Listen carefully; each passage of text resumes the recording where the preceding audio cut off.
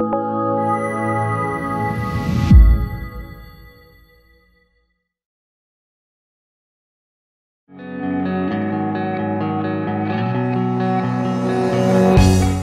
ngày 23 tháng 5 năm 2015, tại hội trường A5 của Trường Đại học Sư phạm Đại học Đà Nẵng đã diễn ra lễ khai mạc hội nghị xác suất thống kê, nghiên cứu, ứng dụng và giảng dạy. Đây là một hoạt động thường niên do Viện Nghiên cứu cao cấp về toán, Viện Toán học, Viện Hàn lâm Khoa học Công nghệ Việt Nam, Trường Đại học Khoa học Tự nhiên, Đại học Quốc gia Hà Nội phối hợp với Trường Đại học Sư phạm Đại học Đà Nẵng tổ chức nhằm trình bày những kết quả nghiên cứu, ứng dụng và giảng dạy liên quan đến lĩnh vực xác suất và thống kê toán trong thời gian qua.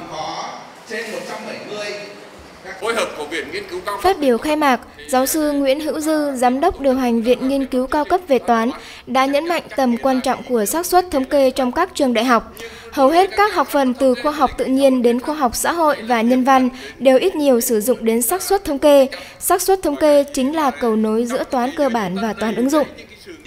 Cũng tại buổi lễ khai mạc, Phó giáo sư tiến sĩ Nguyễn Bảo Hoàng Thanh, hiệu trưởng trường Đại học Sư phạm Đại học Đà Nẵng đã phát biểu chào mừng và nhấn mạnh tầm quan trọng của xác suất thống kê. Kính thưa quý vị đại biểu, kính thưa quý thầy cô giáo, thống kê ngày nay trở nên quan trọng trong thực tiễn cuộc sống thường nhật của mỗi chúng ta. Người nội trợ thống kê chi tiêu trong gia đình, người lao động thống kê khối lượng bốc vác công việc, tiền công, giờ công,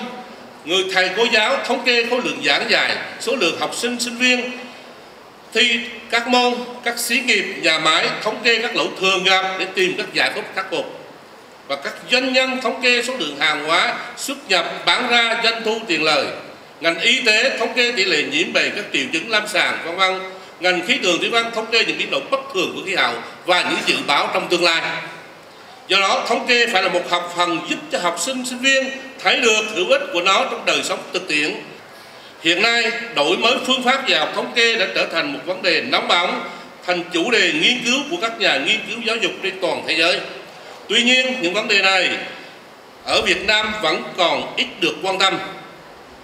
Với cách nhìn đã thay đổi về vị trí ngày càng cao của toán học nói chung và xác suất thống kê nói riêng đặc biệt là lĩnh vực khoa học xã hội thì nghiên cứu giảng dạy xác suất thống kê đã chiếm lên một vị trí không thể thay thế được Hội nghị lần này có sự tham gia của hơn 170 cán bộ nghiên cứu, giảng dạy đến từ 72 trường đại học trong nước và 7 trường đại học nước ngoài các nhà khoa học đã mang đến nhiều báo cáo về những kết quả nghiên cứu, ứng dụng và giảng dạy liên quan đến lĩnh vực xác suất và thống kê, khẳng định vị trí ngày càng cao của toán học nói chung và lĩnh vực xác suất thống kê nói riêng trong mọi lĩnh vực của cuộc sống. Hội nghị xác suất thống kê toàn quốc lần thứ 5 diễn ra trong 3 ngày, từ ngày 23 tháng 5 đến ngày 25 tháng 5 năm 2015. Tham gia hội thảo lần này, 6 giáo sư hàng đầu trong lĩnh vực xác suất thống kê đã được mời đến thuyết trình tại phiên toàn thể về các chủ đề có giá trị đối với thực tiễn đời sống. Ngoài ra, các báo cáo còn được diễn ra tại 5 tiểu ban gồm giải tích ngẫu nhiên và hệ động lực ngẫu nhiên, thống kê toán học và ứng dụng, lý thuyết xác suất và định lý giới hạn, thống kê trong kinh tế và giảng dạy xác suất thống kê. Hội thảo hy vọng sẽ làm rõ hơn việc ứng dụng các xác suất thống kê trong nghiên cứu giảng dạy, đặc biệt là ở trong bối cảnh hội nhập vào nền giáo dục toàn cầu. Statistics is like a catalyst. Ngày nay, thống kê được dùng như một chất xúc tác rất là quan trọng trong hầu hết mọi ngành nghề như sinh học, hóa học, môi trường, vật lý, kinh tế, vân vân.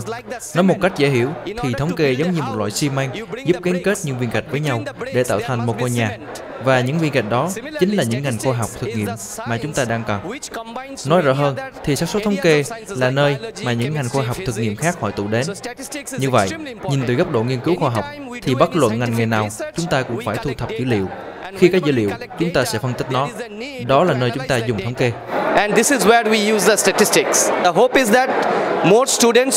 Sinh viên sẽ cảm thấy thú vị khi học được các dữ liệu thống kê và hy vọng rằng sẽ có nhiều môn học ở mức độ cao học để họ có thể học hỏi. Nhờ đó, họ có thể phân tích dữ liệu thực tế. Với sự phân tích thỏa đáng đó, thì hy vọng là các sinh viên và chính quyền địa phương có thể đối phó được với vấn đề ấm lên toàn cầu, một vấn đề đang rất được quan tâm còn đối với sinh viên hiển nhiên đây là một môn học hết sức là quan trọng à, không có một sinh viên nào mà không phải học lý thuyết thống kê và rất nhiều sinh viên phải học lý thuyết xác suất bởi vì đây nó có hai phần trong lĩnh vực này. Đấy là cái thứ nhất là nó cung cấp một loại hình tư duy tổng hợp xử lý các cái tổng thể các cái số liệu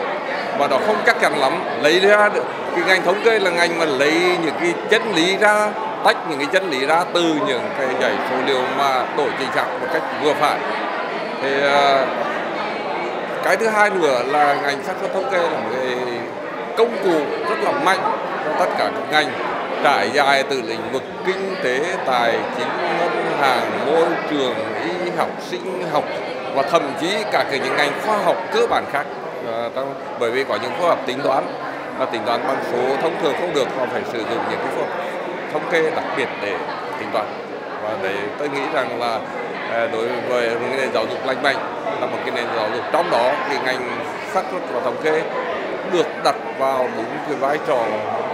vị trí cao và quan trọng.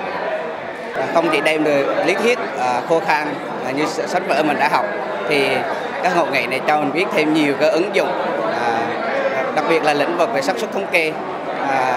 đấy mang lên nhiều hiểu biết cho mình. Qua bài phát biểu của giáo sư Bon vừa rồi thì cho mình biết được là ứng dụng của xác suất thống kê trong việc à, giải quyết những cái vấn đề nhức nhối và đặc biệt là vấn đề môi trường thì à, đó là một cái tầm quan trọng đặc biệt của toán học đem lại cho chúng ta. Hội nghị xác suất thống kê, nghiên cứu, ứng dụng và giảng dạy đã diễn ra trong bầu không khí cởi mở, thân thiện. Sau mỗi báo cáo, các nhà khoa học đều tích cực tiến hành, trao đổi để hoàn thiện và làm sáng tỏ hơn những bài báo cáo của mình. Hoạt động này còn được diễn ra ngay cả trong giờ nghỉ giải lao.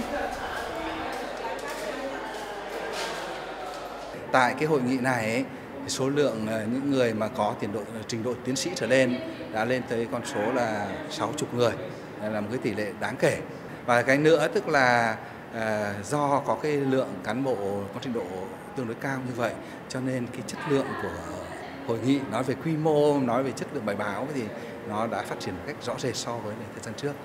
À, và cũng có thể thấy là cái cấu trúc của các cái phần trong trong ờ, trong các báo cáo đấy, thì thấy đã đã có sự ờ, cân xứng giữa hai mảng là mảng nghiên cứu và mảng ứng dụng. Khác với các ờ, kỳ trước là cái phần ứng dụng còn hạn chế chủ yếu là nghiên cứu lý thuyết. Bây giờ thì còn đã có nhiều người quan tâm đến mảng ứng dụng ở thực tế Việt Nam mình. Thì qua mỗi lần hội nghị thì quy mô của hội nghị ngày càng lớn và đây là cái hội nghị có quy mô lớn nhất. Điều đó chứng tỏ là sự quan tâm của các cái trường đại học cao đẳng cũng như là của xã hội nói chung đối với xác suất thống kê ngày càng lớn hơn Đấy, mà cũng tỏ, chứng tỏ vai trò của xác suất thống kê là đối với uh, hoạt động nghiên cứu, giảng dạy và ứng dụng nói chung ngày càng lớn. À, không chỉ lớn về cái quy mô uh, tham những người tham dự mà hội nghị còn là có một cái, uh, cái nội dung các báo cáo hội nghị cũng là có cái nâng cao về chất lượng. Đấy, ở trong đó có rất nhiều cái báo cáo của các giả, các tác giả trong và ngoài nước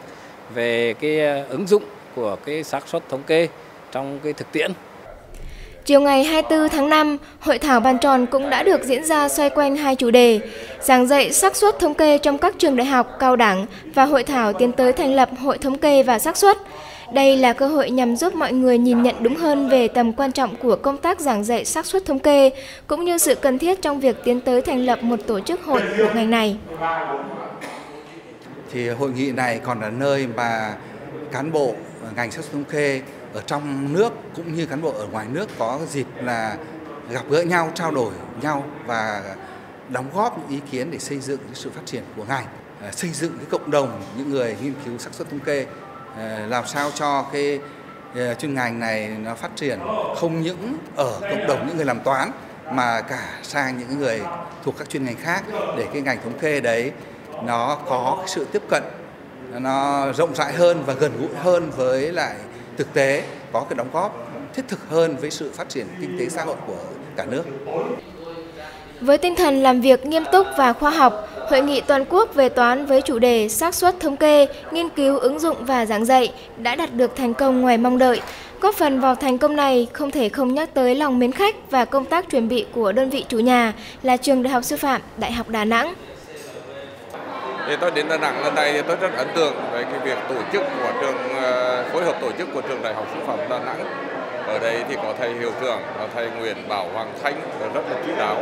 và tôi ấn tượng là thầy chú đạo chi tiết thầy có một cái tầm vĩ mô về nhìn cái công tác tổ chức nó tốt nhưng đồng thời cũng là một cái con người và đôn đốc cụ thể từng vấn ờ, từng từng cái chi tiết một để cho hội nghị thành công tốt đẹp và tôi thấy cái đội ngũ của tất cả những cái à, cán bộ và viên chức của trường cũng như những người phục vụ là hết sức tận tình và chú đáo của hội nghị tôi nghĩ rằng đấy trong những hội nghị ờ, được tổ chức một cách tốt nhất về lý thuyết thắng xác suất thống kê từ trước đến nay